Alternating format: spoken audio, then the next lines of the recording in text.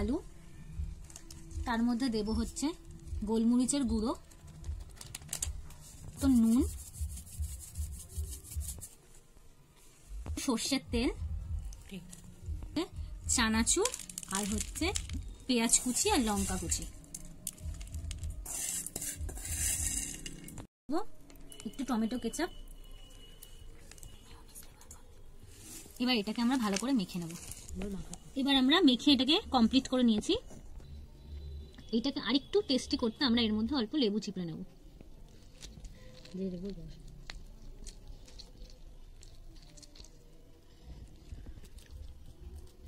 এখানে নিয়ে নিয়েছি ব্রাউন ব্রেড এবং তার উপর আমি একটু মেয়নিজ স্প্রেড করে নেব।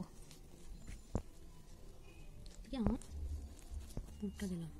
এরপরে আমরা পাউরুটির উপর পুরটাকে দিয়ে দেবো। বল এবার পুরটাকে ভালো করে দিয়ে চারিদিকে একটু ছড়িয়ে দিয়ে আর পেঁয়াজের রিং দিয়ে সাজিয়ে দেবো।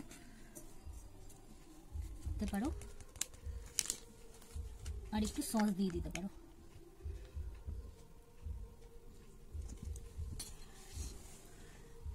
তারপরে আরেকটা পাউরুটি দিয়ে চাপা দিয়ে দেবো।